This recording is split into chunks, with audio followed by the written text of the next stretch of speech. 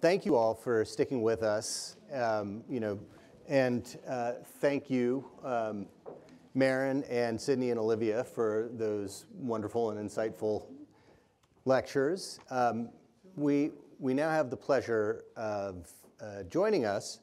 Celia Bertoia, who I mentioned before, uh, is uh, Harry Bertoia's youngest daughter and uh, the director and founder of the Harry Bertoia Foundation. And she has a, a background in real estate and fundraising and created the foundation in 2013. She wrote a wonderful biography uh, on, about her father called The Life and Work of Harry Bertoia, which came out in 2015. And she lectures internationally about her father and also does interviews all the time, um, uh, speaking about Harry. Um, she's also a fine arts appraiser through the American Society of Appraisers, is qualified to issue certificates of authenticity and to appraise Bertoias. Um, but, um, and so you can see we wanted to, uh, so please welcome, please join me in welcoming Celia Bertoia. Um, so the, the, the idea, of course, was to have a range of perspectives in this conversation on Bertoia. Sydney is uh, uh, an expert on Bertoia's monotypes. Marin has a particular affinity for his engagement with architecture and architects. Um, Olivia obviously has a deep love and appreciation for the sounding sculptures. And, um, uh, and, and Celia knew Harry better than any of us. um, um, and so, you know, we, we've talked about these kinds of isolated elements of his practice. Um, but, you know, one of the things that we discuss in the exhibition is that, you know, these things overlapped all the time. And I'm curious, Celia, about, you know, how that manifested, manifested itself in kind of his daily life in the studio and, in, and, and with the family? Well, yeah, gosh, that's, that's a big question. uh, Harry saw no boundaries between anything. Yeah. You know, he, he didn't like categories or labels. So his whole life was one. It was, it was wholesome, you know, it was there weren't separations. So the conversation around the dinner table might include the latest art book that had just come out, along with what happens after death and uh, what kind of tree should we get for uh, you know, a fruit tree. I mean, and it all flowed seamlessly and seemed to work quite well. And I know even as a, a youngster, when we would travel, when, not travel, when we would visit the studio, when we'd go to the shop, and there's Harry, there's my dad working on some huge monumental piece. And I, I didn't really know what he was doing or the, the meaning of it or any of the scholarly, you know. But I could tell just about just the way he would talk about his work and the, the way he would touch them, that he loved what he was doing. And he was doing his life work. He was right where he was supposed to be. And looking back on it, I got such a great education and example of how to live just by his actions and how, how he lived his life, uh, much more than any words he could ever say. Yeah. Yeah, and I, sh- I should also um, I should also encourage our other panelists that you know if if other Sydney you too if other questions occur to you, please feel free to to jump in and ask them. One of the um, one of the I think, interesting things, and, and, and Marin mentioned it um, in her talk, was, um, was about the relationships that he had with, um, you know, commissioners, collaborators, architects. Um, and it seems like also, you know, the, the people who, who touched his life in, in, in, a, in a myriad of ways um, I, I remember you talking in particular early on when we when we came to visit you about his generosity, um, and uh, you know I think we have you know works in the exhibition that were um, you know that uh, you know eventually ended up in in museum collections, but that were given away essentially as gifts. Um, tell us a little bit more about how he was, um, about, about that kind of aspect of, of generosity. Well, that's a great point to bring up because my father was incredibly generous, and uh, that could be exemplified by how he treated his workers, his everyday helpers in the shop he had two brothers, the Flanagan brothers, who worked for him for many years. And every Christmas, uh, he might give them a, a, monetary Christmas bonus, but he would also allow them to choose a sculpture, anything of, of their liking.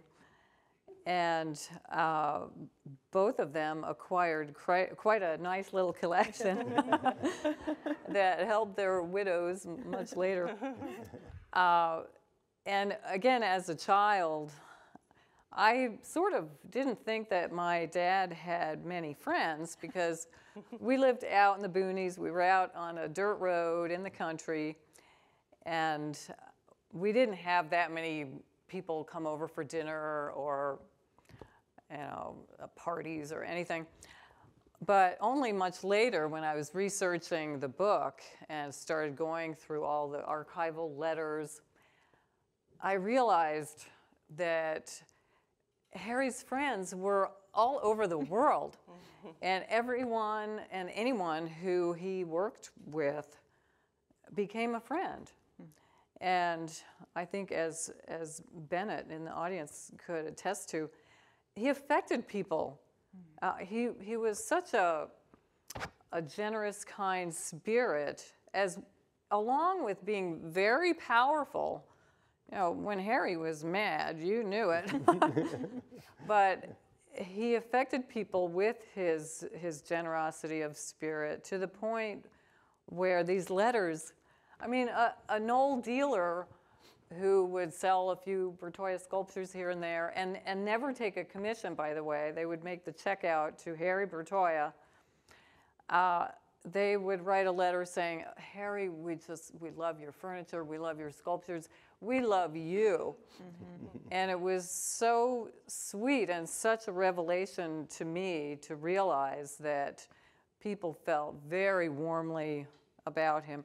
And like you say, he, he was donating to museums, uh, the local charities, the Reading Hospital, and you know this outfit and that outfit. He would give them a sculpture for their annual silent auction. And he never talked about that at home. I only mm-hmm. discovered that reading through the, the correspondence later. Mm-hmm.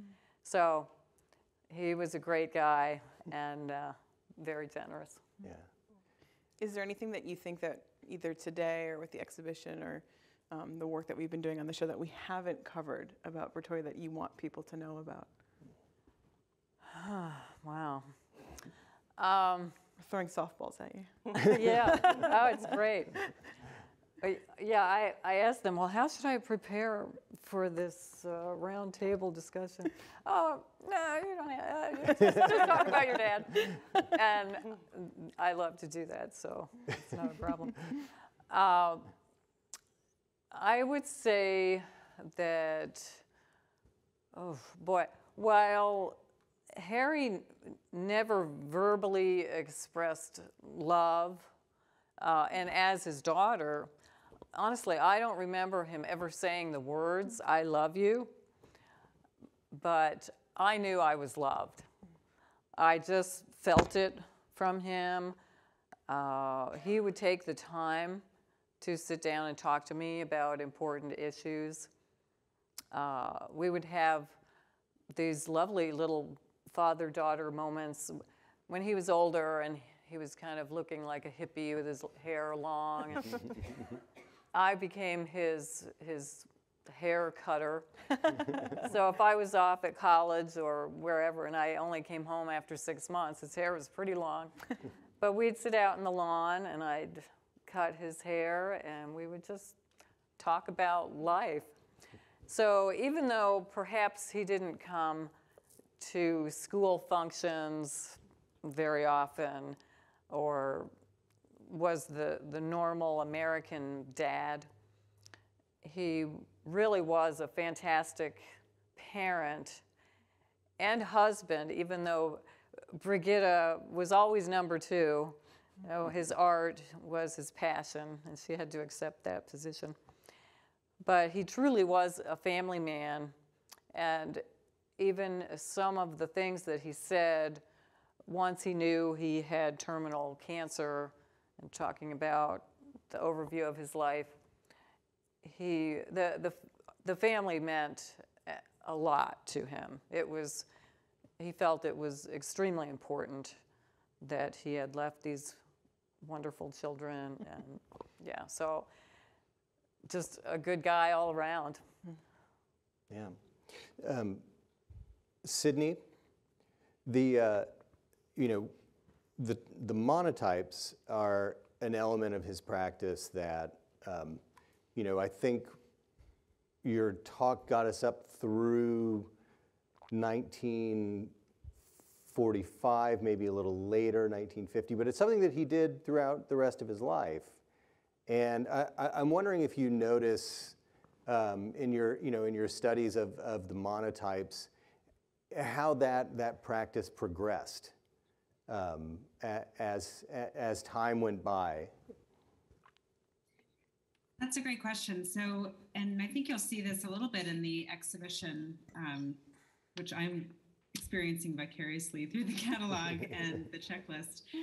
Um, he really starts to use it as a place to sketch and imagine sculpture, but not in a kind of one to one. So he might have sketched a sculpture that he wouldn't realize for two decades after um, he first put it to paper.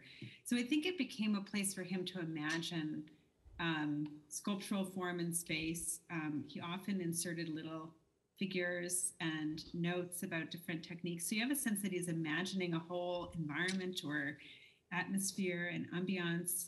Um, in some ways, I think anticipating his work in sound.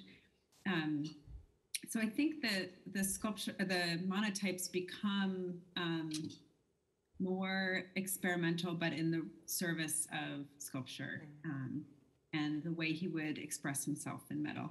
And I just think it's worth pausing. It is such a bizarre way to sketch. Um, to, to sketch in a medium where you cannot see what you're doing because you're seeing a vague image of it through a dampened sheet of paper. That's unusual. Um, I don't think that most sculptors, most artists sketch blindly in that way. Um, and it, it says something about the way that he worked in metal as well. There was a kind of feeling to it, and uh, um, that the process of making, the process of doing, was the way that he was learning and um, experimenting and, and, finding, feeling his way to a result. Yeah, I mean, that was, I think, something that that is a kind of red thread that winds itself through his career is that, that very kind of um, the experimentation that he did in, in any, you know, that, that he would um, turn to in, in, in, any aspect of, of his work. Um, that sense of, of you know, um, moving towards something intuitively, um, and almost a sense of, uh, you know, a sense of play you know, to find out what material, what, what mat certain materials will do, find out um, where something is leading him. Um, and and I'm, I'm curious to, to know if, um, I mean, that's, that's clearly, I think, something that, um, that comes out in a lot of the work. I mean, is that, is that something that, that you see happening as well um, in terms of you know, the way that he practiced, that kind of, that kind of sense of play. Mm. Yes, uh, but I, I, wanted to mm-hmm. tag on to something Sydney said about that technique. It's rather unusual.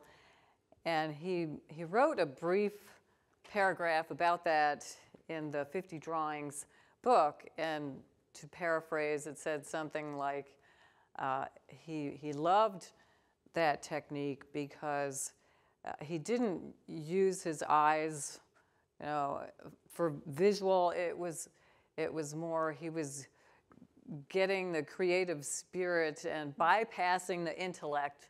And if he did it quickly enough, it would shoot out his hands and poof, there's, there's his drawing.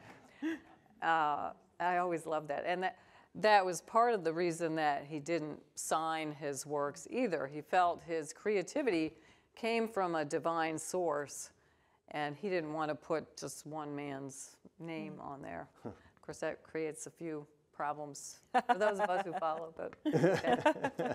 uh, and as far as the the playfulness and the experimentation, uh, I would say Harry, or the the man I knew, was I didn't see his playful side all that much. uh, I think I think his friends or someone like Bill Springer may have seen his playful side. I know when when my sister uh, met Peter, who who became the father of her daughter, he did this fun thing, which you've probably all done, where he took a $50 bill, pulled it out of his pocket as if he just had it perfectly waiting for that moment. and he said, okay, we're going to see how sharp your reactions are. And you know, he holds it up here, Peter's down here, and, he drops the $50 bill. And normally, no one can catch it because it happens so fast. but Peter was a pretty sharp guy, and he managed to catch the $50 bill, which allowed him to keep it and also to date Lesta. but back to the, the sculptural experimentation, when he had an idea, especially for the, the commissions, the, uh, the architectural pieces, he, he would get a sense of what was needed for that space and, and the theme of that building and what the architect and the client were looking for. And so he had this vision in his mind, and perhaps he did not yet know the technique hmm. by which to make that. Well, impossible was not a word he used. He would just experiment until he, he figured out how to make it. And with the, the Dulles hmm. spill cast, that was an experimentation process that really went on for about a year. And the final construction all happened within 24 hours. Yeah. So, yeah, there, there was a lot of experimentation. And I think some of his smaller pieces and after hours pieces were very experimental and sometimes transitional, you know, going from uh, the early kind of rough and rugged sunbursts like that Brussels tree to the more refined and elegant dandelions and all the steps in between. So, yeah, experimentation was, was big on the list. Yeah. And I mean, that's something that, that comes up in your practice as well, Olivia. You know, this idea, this sense of um, responding in the moment intuitively, experimenting, not knowing what the end result might be. Yeah. And I, and I think that was something that was also important in his experience of the, of the sound sculptures and, and his engagement with them. Mm-hmm. Mm-hmm. Oh, for sure. The sound sculptures, and as you can see with the samples, they come in all different shapes and sizes, and the cylinder heads, and the cattails, and the reed, different metals, different alloys. Uh, and that was a, a very long experimental process, of starting when he first stumbled upon this concept in, around 1960, all the way up until his death. Uh, and I know that he, he wasn't really finished. He would have liked to have continued with that. How did he stumble onto it? I mean, I know kind of the origin story, but I'm curious if you know more about Yeah. Well, the story goes that it, he was working on a small wire piece, and the he was bending one of the wires, and somehow it broke off and flipped through the air and was. Uh, You know, I hear different versions, but maybe it was even making noise as it flipped through the air, and then of course it landed somewhere and made more noise. So even though he he had worked around metals all his life, he he was a metals man, and he had probably heard those sounds many times. Some something clicked, and he wondered, "Gosh, what if that if one rod sounds like that? What would ten or twenty or a 100 rods sound like?" And that that began the process. And we should underscore, I think, too, um, that each one of those tonals, each one of those singing bars, each one of those gongs is unique, right? It's always different configurations, different metals, different tops. Um, and, and, you know, when we talk about thousands of unique works, I mean, we really do mean it. Like, everything was handmade by him. like, this is the other thing I think when we especially get into like later 60s, early 70s sculpture, you know, there's a lot of kind of outsourcing of fabrication. Um, and there's a lot of repetition that starts to happen, and you kind of get into certain styles. And like everything that you see upstairs is a result of Bertoia's hand. Um, and, and I think that's also a really pretty remarkable thing, especially when looking at his contemporaries. So. Yep. Very much. Yeah, it's interesting. You know, you talk about the Flanagan brothers, you know, being kind of consistent helpers in the studio. You know, for the really big projects, did he did he pull in others to help or okay, yeah. So or, or was it just the three of them? I mean, that would Well, early on, uh, yeah, there was a whole progression with that. He actually had Brigitta in the shop way early on, and that wasn't so good. so, and then he got Jim Flanagan fairly early. Uh, Bill was at around 1960 or somewhere in there. Yeah. And so Jim Flanagan was there first, and he became very familiar with all the. So all the works he had done up to that point. Well, he did have various helpers here and there, uh, but then Jim became very consistent, and soon they pulled in Ed, the brother, and uh, then later on, you know, when I was more cognizant of what was going on, uh, he would hi- hire some of my friends. You know, I had a, a boyfriend, Bill. He hired him, and then my my my other friend's husband. He he worked for him for a while. So there were times where he had four or five helpers, uh, and and then Val, my brother, worked there for about seven years. So yeah, he did have help, but Harry did all the design. You know, he lined everything out, and uh, I had a chance to interview Ed Flanagan before he passed, and he was telling me that they would do the the rote work. Of, you know, some of the bushes. You can imagine all those branches, just tedious work yeah.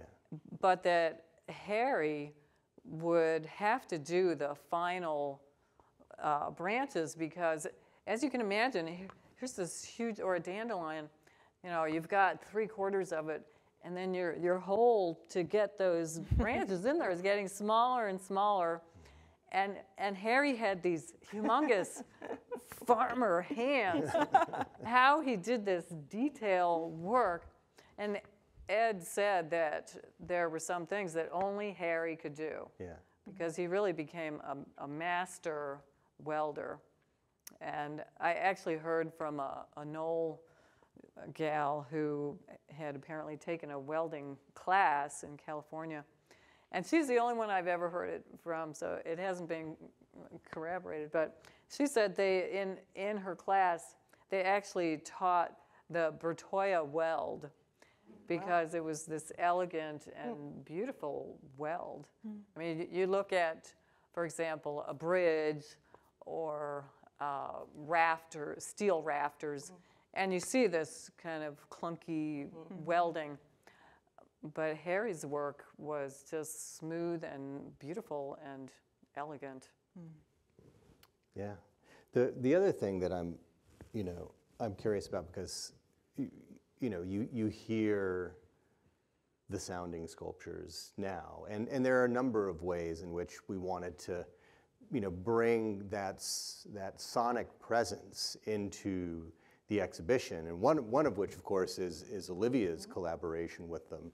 The other is that we'll we're very great. Um, Celia has very graciously allowed us to demonstrate them on a regular basis. So she's trained our visitor experience staff on, on how to play them. Um, and so visitors will, will be able to hear them and not just you know, see them kind of standing mutely in the gallery.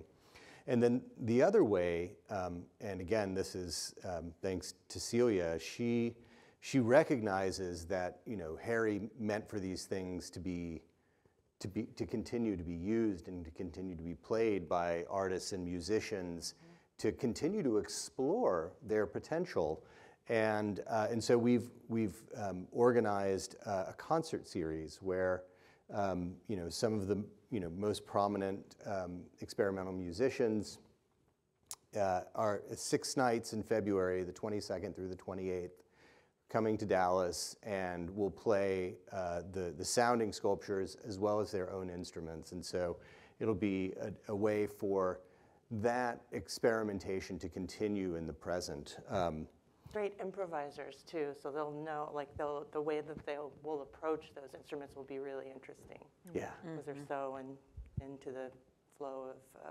improvisation. Yeah, absolutely. I, and, and, you know, and, and, and actually, when we were speaking with Bill earlier, you know, what what was that experience like? In you know, to have all of these things in a barn, essentially, and you know, have all of that resonant wood around you. You know, it's a lot of people talk about it as this kind of physical experience. Oh, yeah.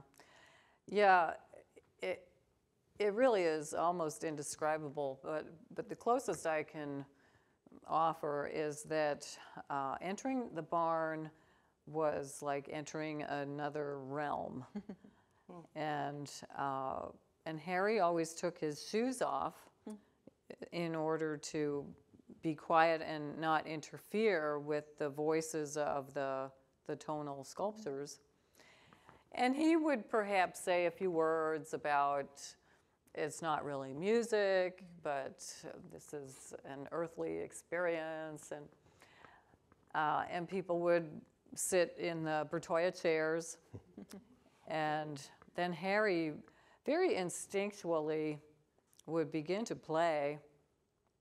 In the beginning, softly, and perhaps choosing some of the more gentle sculptures and complete silence. he didn't talk, no one in the audience talked. And no, no matter what, what people came in with, or, or me as a teenager, you know, oh, I have a test tomorrow, or you know, whatever nonsense, uh, all that just melted away. You, you were there in the present moment, and Harry is doing his thing, and he sort of slinked around like a cat almost. and, and he knew the sculptures so well. And he, would, he had them grouped in uh, little families where it was, there was a variety, you know, maybe a, a cylinder top and a, an inconel. And so he could get all the different sounds that he wanted. You know, and sometimes I thought that he probably knew those sculptures better than he knew us children. but yeah, just playing and and then you know this might take 20 minutes at the most, but soon more and more sounds and as they don't really end, you play them and it keeps going hmm. and you plunk the singing bars and you sort of forget about them, but then all of a sudden you hear another little sound there, and the noise is building, and, and soon it was this cacophony of, oh, whew. And here you've got this thick wooden floor, this remodeled old Pennsylvania Deutsch barn, and there was a whole level underneath it. So it was essentially a sound box underneath Oh, the. Sonambient barn. Wow, okay. And here you're sitting in the chair and you start to feel the vibrations mm-hmm. through the floor. Oh, wow. So yeah, your your body's feeling it and the, the sound and the visuals, they're all swaying and dancing. And Harry, oh, uh, it's just this whole experience. And then at the very end, he'd probably hit the, the 10 foot gong, which was just completely thunderous. And you're just reeling.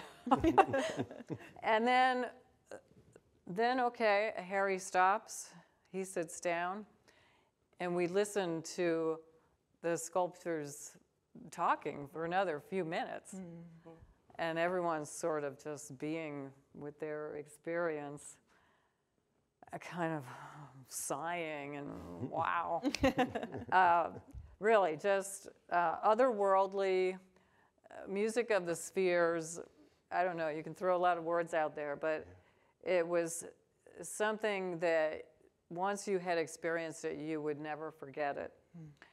And Harry, of course, was the best performer, although he didn't like to use that word, but he knew those sculptures so well.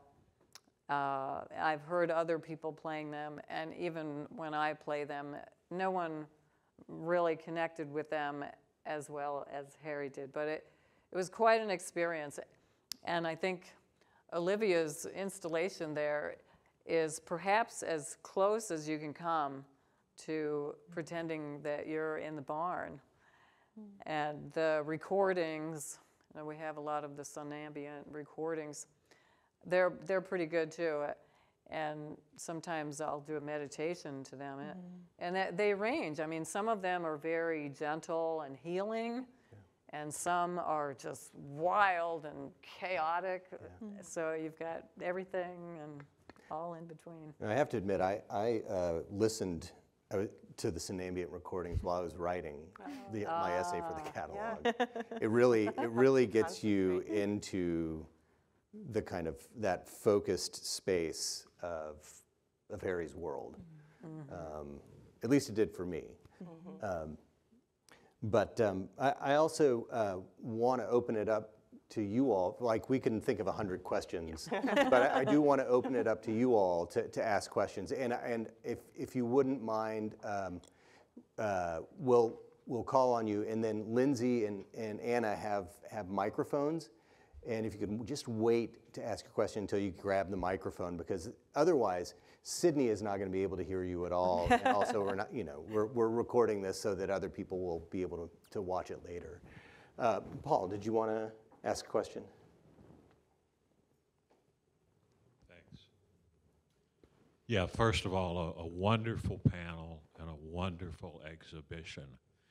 Uh, I want to ask about a, another Harry from the field of experimental music. That's right, Yep. Olivia. Yeah, yeah, Harry Partch, yeah. Uh, Partch wrote Genesis of a Music in the late 1940s, so this had been on the table for a while. And what would help me to better appreciate the instruments and sounds, and Olivia makes a very important distinction between music and sound. And I know that the differences between Partch and Bertoia are way more than the similarities.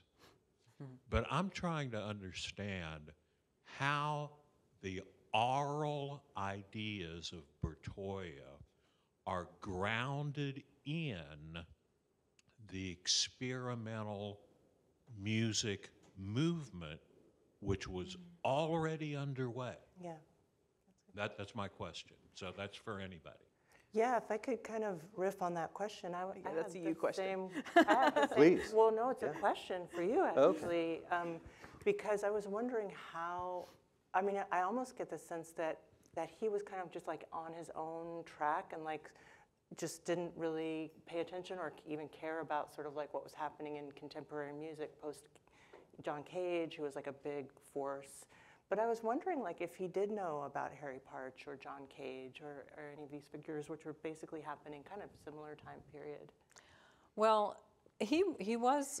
I don't know specifically if he knew about Harry Partch, but I know he was interested in John Cage, Yeah. and uh, he he did keep abreast of uh, pop culture and what was happening. I remember him seeing Bruce Springsteen on the cover of Time magazine, and he he gave me some money and he said, "Go out and buy his album. I want to hear this guy's music." um, but he, he was really on his own track, and Sydney, just like with the monotypes, he, he didn't really collaborate with other printmakers. He kind of just got it from who knows where. And I think that was the same with the music. Now, uh, we have Oreste's daughter here. Oreste was very instrumental in the, the sound aspect of Harry's sculpture because Oreste was a musician, a self-taught musician, but he actually wrote classical music. He was pretty incredible. And by the way, also basically, It's Harry's older brother, or what yeah, I'm sorry, Harry's older brother. He, pretty much sacrificed his own musical talents to help Harry in his his life. And he said, you know, Harry, you're the you're the guy with the talent. Go for it. Uh, but it was Oreste who suggested when he f- saw the first sounding sculptures. He said, "Oh, let's uh, put these all together and make an orchestra of sorts." Yeah. and then it just developed from there. And I think the early ones, you know, we've tried to trace what what exactly happened, because he he would bring a couple of the sounding sculptures up to Detroit where Oreste was, and then Oreste would play around with them and. He might uh, chop off a few inches Okay, and see how that sounded, and Yeah. uh, so lots of experimentation. Mm. So in a sense, like it sounds like the the sculpture was built. So maybe in, in a way, this would be the difference between the two Harrys. Is that I get the sense that Harry Partch was very mathematical about his designing of the mm. tonal parts of his pieces, because of course, like the measurements of each piece is got is corresponds with a different harmony and a di- different tone. Whereas, based on what you're saying now, it sounds like almost like there was a prototype and it was built and then it was tuned almost like by as you say like taking off an inch or two here and listening to which makes actually a lot of sense given the complexity of and the kind of like non um, scale like sense of, of those instruments because it's just the harmonics are so complex it's almost like not as uh, mathematical as a Harry Partch instrument you know? And I think through materials too, right? I think there's this sense where, you know, one of the things that's really interesting to me about like the Standard Oil Commission, which kind of got drowned out by its architecture in a lot of ways. It was in a, a large reflecting pool that had fountains around it that have now been ripped out. Um, but there's a lot of correspondence where like Bertoia is trying to figure out exactly what type of granite base to use, what like rubber gaskets to put underneath, how thick the brass plate should be, how thick the rod should be to get the sound that that he really was looking for. So it, it was kind of like s- sound, but but the material was the crucial um, piece in the equation. And, and the other thing I could think to in terms of context is that there are two fairly significant sound sculpture exhibitions that occur in the 70s. Um, one is at, uh, Sydney, you might know this off the top of your head too. I think it's at the Wadsworth Atheneum um, in the 70s. It's in Connecticut. So I think it might be Wadsworth Atheneum and then the Vancouver Art Gallery. Um, there's two like pretty significant um, sound art, sound sculpture shows uh, where Bertoia is showing alongside some of those, you know, kind of experimental sound art pioneers stretching from the mid-century. So he would have been aware um, of other other figures, and you know, showed his work would have been shown alongside of those um, in the 70s. That's very interesting. We'll go here first. Uh, I think Anna's coming with a microphone, Bill. Uh, Thank you. I, I, uh, I'm thinking of the times in which I heard uh, Harry in his barn, and that was mostly later in his life and towards the end of his life. And I, I always felt there, was, uh, there were elements of orchestration in the work.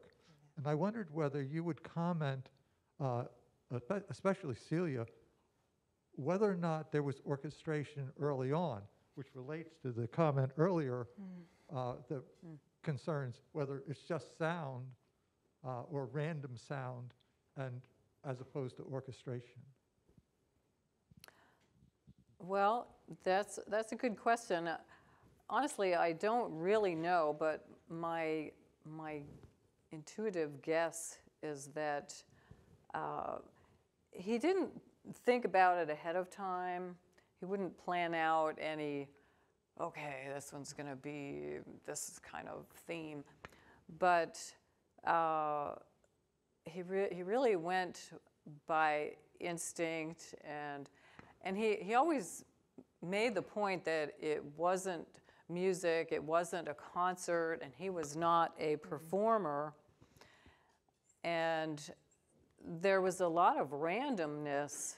I mean, again, I'm not sure if he really thought about that, but you know, there was. I, I rarely have heard in his recordings any kind of one, two, three, one, two. you know, there there wasn't a rhythm like that. And in fact, sometimes the sounds are surprising. All of a sudden, you hear this, the singing bars or a gong when you didn't quite expect it.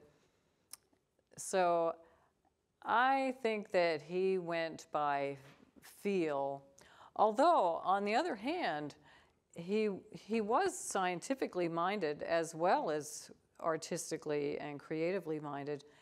Uh, he would talk about uh, the, the hertz and the, you know, the tensile strength of the mm-hmm. metals and, and, and even in, in packing uh, you know, one of his helpers was telling me how he was packing the standard oil pieces, oh. and it was this 40-foot flat flatbed, and he puzzled it out how each crate, you, know, you had to put this one this way and this one this way, Yeah. and he had this whole diagram. So when the driver, the truck driver came, he said, "Okay, this is what we have to do." Right. Um, so back to your question, I don't think it was really planned out or orchestrated, but the finished product would sort of feel like it was orchestrated because he was going with the flow hmm. so beautifully. And, he, and I think he did talk about in interviews that um, um, it's not it's not something that you know these things you can't re- they're kind of you can't repeat a composition Right. um, because you can't there's no there's no kind of form of notation that you know, you know um, a musician might might take from um, you know a composition by uh, a, a- another composer and be able to play it um, you know because it, it, it was uh, it, and so it was more freeform um, But and- it and I sounds like remember him talking about that and I'm, I'm wondering though, like, and and just kind of going off of what you were saying about like how he grouped the instruments, like that maybe the orchestration was actually in the grouping kind of timbrally, like, and I think, I think timbre is a word that's important when we discuss things like this because timbre is a word that's actually used in music. But really, all timbre means is sound. It's like the overtone structure of a sound, something that makes the tone characteristically metal or wood or something hmm. like that. Hmm. And it seems like my feeling is like he was probably timbrally kind of aware of how he was grouping these these pieces because they are so timbrally different. I mean, some hmm. are like white noise. You just like the, the rods are so small, you know, that you just mm-hmm. hit them. It's like a wave, Yeah. an ocean wave. And so I'm wondering if like his score, in a sense, was just like the the actually like the formation of the instruments in the space. Like he kind of knew how to mm-hmm. move through, like what you were saying, but it wasn't like notated like mm-hmm. that. It was just like the spatial notation of the room mm-hmm. and the pieces, maybe.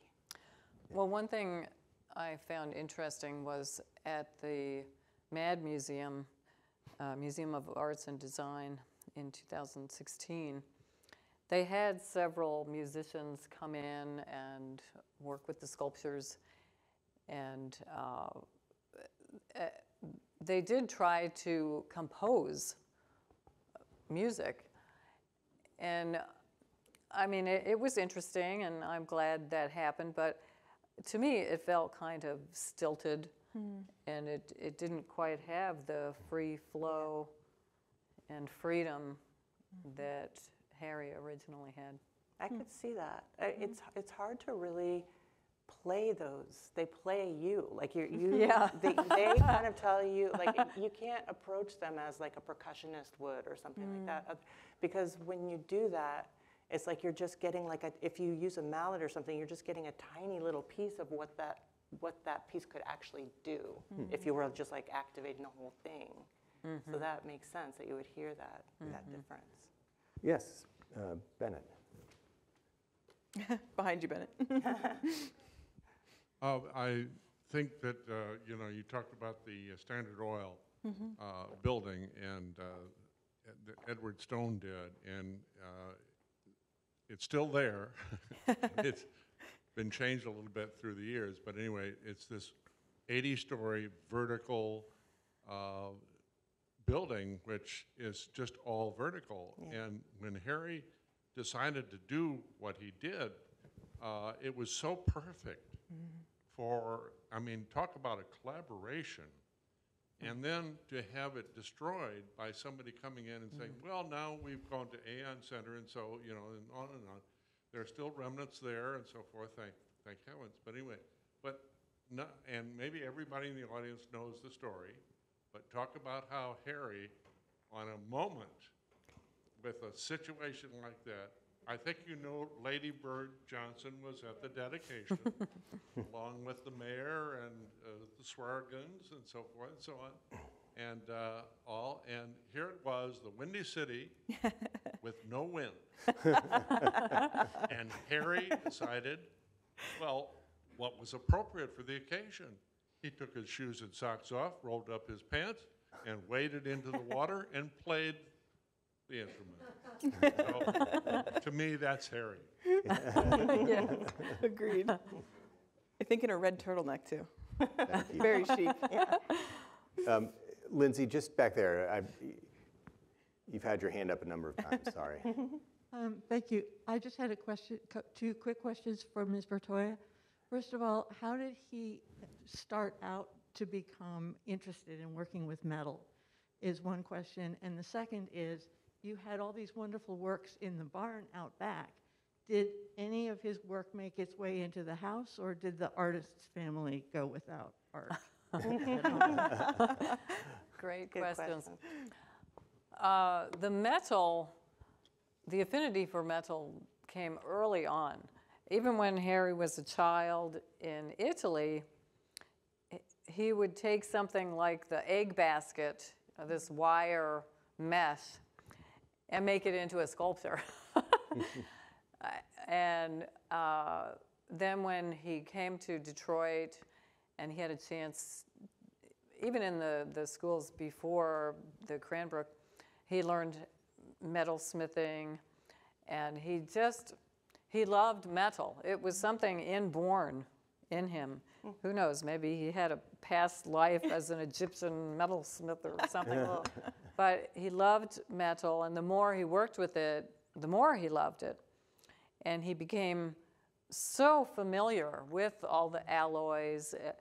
He worked with a, a metal supplier in California, this man, Clarence Hawk, and he would, he would have him create special alloys mm-hmm. just for Harry.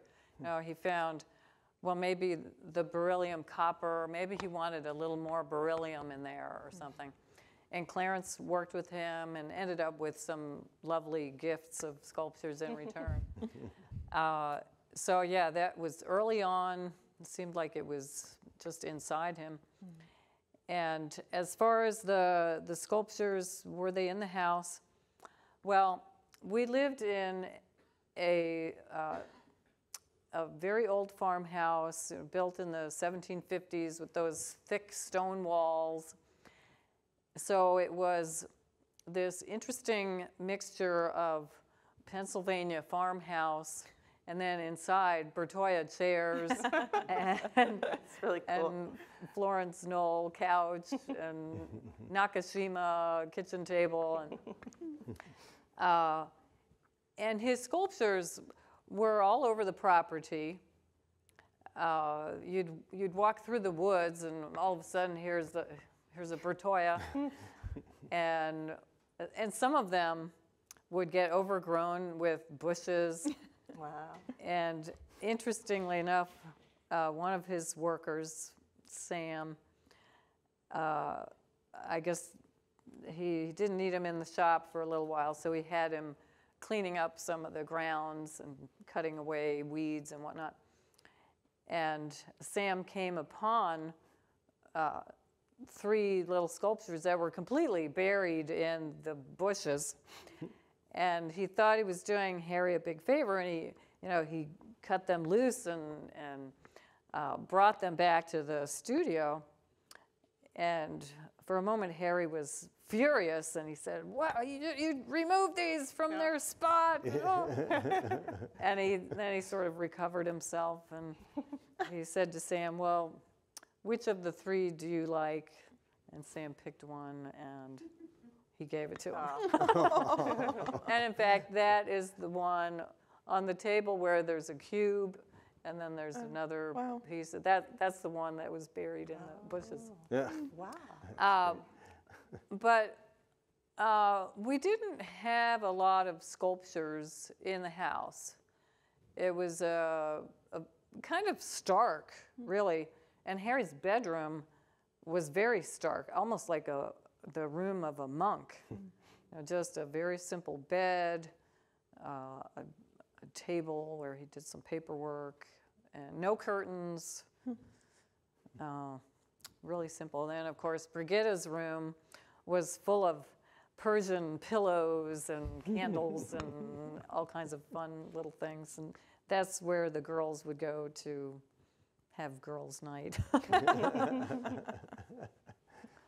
That's great. So- Um, yeah, in the back here.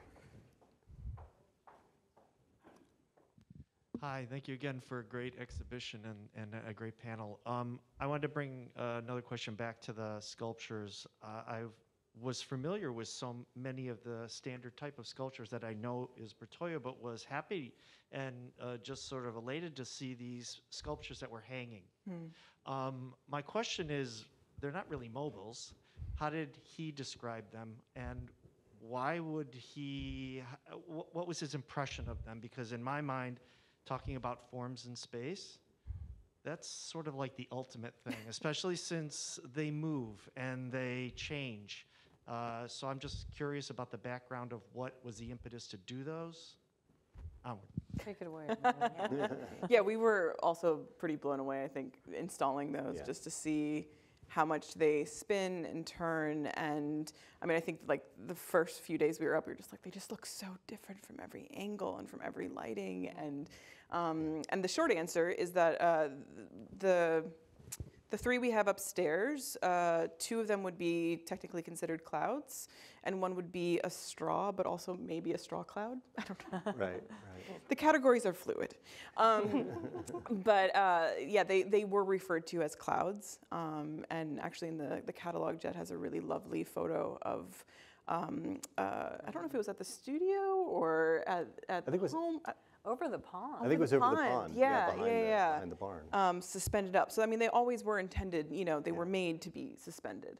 Yeah, no, and actually that, that was a, those photos that you have are fantastic, and I and they're I, they're part of the the catalog now. Um, but just to to see, uh, so the, there's one kind of multi-plane construction cloud that ha- is hanging above the big long platform um, uh, towards the street. And there are photographs of that that Harry took or had someone take, looking up at it outside, and you have clouds passing by, and you know the, the sunlight is glinting off of the the planes of the construction, and then and then there are others where it's kind of suspended out over the pond in in the back, um, and you're seeing it reflected in, in the pond, in the water of the pond, and, and, and you also see the sky above it. And so it's this kind of illusion of both earth and water and sky um, where um, it kind of takes on the form of, well, maybe this is like a s- small school of fish that's swimming in the water, or, you know, you don't, you don't really know what it is. It, it's just its own thing, but it's clearly of nature and part of nature. Um, and um, I think I think the other the other um, aspect to it is that you remember that uh, photo I showed, the Herbert Matter photo of um, the Bertoia chairs, and then the frames that are kind of suspended. So that he would suspend the, the, the frames in order to weld them up, um, you know, because he's using bending wires, and then he's connecting them in this kind of um, uh, uh, matrix. Um, but it's a, it- you know, it's a three-dimensional volumetric matrix, and so the way that he would work on them was he'd, he'd get it started, and then he'd suspend it, and then he'd be able to turn it and, and make the tack welds for the wires. And so he was, you know, used to seeing these, these kinds of objects suspended in space, and I think the, the kind of cloud sculptures came out of, of that of that experience. Um, I'm, I'm speculating entirely, but I wouldn't be surprised. And also, I would say too, um, on the the wall upstairs in Gallery One, um, there's early two pieces. There's like a lead and silver, really fine wire in a vitrine case, and then right next to it, um, the the maquette for a conceptual sculpture, which kind of looks like a chair. And both of those pieces are balancing, right? All of those little elements. So the even like the big kind of triangular piece, it just balances on a little stand. And then all of the the fine wires in the landscape fantasy are all balancing too. And so a lot of those early, the early sculptures, when he's transitioning or working alongside the chair development, there is a lot about balance and suspension. So even if it has a stand, um, there really is some thought there. Again, a kind of like engineering mind going on um, in terms of physics. So I think it's a natural kind of um, next step to be like, ooh, if I'm balancing on a little stand, let's balance it up top. And then you think about the gongs being suspended, and there's some really beautiful large commissions that are suspended dandelions or hemisphere shape. Um, so he, I think that's also speaking to the fact of like, where can I put sculpture, right? can I stand it? Can I hang it? Can I affix it to a wall? Can I make it out of a wall? Um, so there, there really is a way too of not just thinking about materials or different techniques, but also, also different presentation models um, for different spaces. Let's see. Um, there was another question over here. Do you, you still have a question? Okay, Anna, yeah, just um, this, the uh, lady right here in the white sweater. Thank you. I was interested in the reference to correspondence between Bertoia and the Nashers. I'm interested in uh, what uh, pieces of work they might have acquired and if they're going to be in the exhibit upstairs. Yeah, so um, uh, they acquired a few works by Bertoia over the years, and like a lot of collectors in Dallas, they, they bought them through the Knoll showroom here. Um, it, there, so um, uh, actually, the one of the um, one of the the sunburst sculptures right when you walk in the kind of main gallery. Um, the one on the right is um, it's also the uh, the image of the catalog cover. Uh, it's kind of our main, but that's that that was something that the Nashers bought in the nine, I think 1960s. Yeah, Yeah. 60s. Um, and there's also some fun correspondence too, uh, which happened a lot actually with, with Bertoia pieces, with private collectors and with bigger commissions. Um, uh, correspondence about like, oh, something has broken. Can you help us? How do we fix this? And he would also very graciously have works sent back to the studio in Pennsylvania, and he'd fix it and then send it back, or instruct people like maybe don't put that one outside, or here's a solution for that. And so there's some some fun correspondence along those lines too. Yes, sir. Um, Anna's coming there with the microphone. First of all, thank you for putting together a really a, an excellent exhibition of his work. Pieces we've never seen or probably will never get an opportunity to see again. So it's a real treat. Um, I, I think what drew us to Bertoia early on is most art hangs on the wall and says, look but don't touch. And his pieces say, come and touch. But don't touch. Not here. No, don't touch that. So while the som- uh, the ambiance and the gongs are obvious, how about the other pieces, the, you know, our kids play with the dandelion and the willows and the bush shapes, because they all make sounds. Seal, did your dad ever expect those to be touched and moved and played with? Or were those don't touch? Well, Marin, you might know. I'm not a museum person, so I don't know if I should answer that. But uh, Harry was always a little bit frustrated when he would see those do not touch signs at his exhibitions. But uh, actually, the dandelions are not really meant to be touched, they're just beautiful to gaze upon. Uh, the bushes do make some interesting sounds. Uh, but I, I better, I better let Jed No, no, it's true. that. And, and actually, this is something that i I, I think is common among a number of artists um, that they love when people engage with their work and. Um, and when they come to museums, which are dedicated to preserving that work for, you know, generations upon generations upon generations, that becomes problematic. And so, you know, artists often say that, you know, museums are where art goes to die. Um, because there, you know, there, there are these kinds of prohibitions about touching, and that's to, to preserve them, but, you know, maybe they're, maybe we're really, you know, embalming them in a way. So, you know, it's always, it, it's always a fine balance. Um, and, you know, because these things are coming to us from, they're, they're not ours, you know, and, and we have to, um, you know, take, take good care of them. So uh, we do have lots of do not touch signs around our galleries. Um, um, but yeah, no, I mean, I think a lot of times artists um, uh, regret that aspect of, of the kind of the loss of intimacy between, you know, the viewer and the work when it, when it, when it's shown in a museum. And go ahead. Uh, I will mention too that Harry did, of course, encourage people to, to touch the tonals and experience them, and even little kids. And he, he even enjoyed it. We always had cats around the place, and sometimes the cats would sneak into the barn. Oh, and could go they, they'd walk through the aisles, and maybe their tail would play a oh, sculpture. And he loved that. Yeah. He thought that was just charming. so, Yeah, and I, I mean, I would say too, also like some of my favorite photos, you know, like obviously working on the catalog Raisonné, we get all sorts of interesting archival photos of, of people's work. And uh, some of my favorite photographs are the ones of like, you know, really seeing how people live with their sculpture.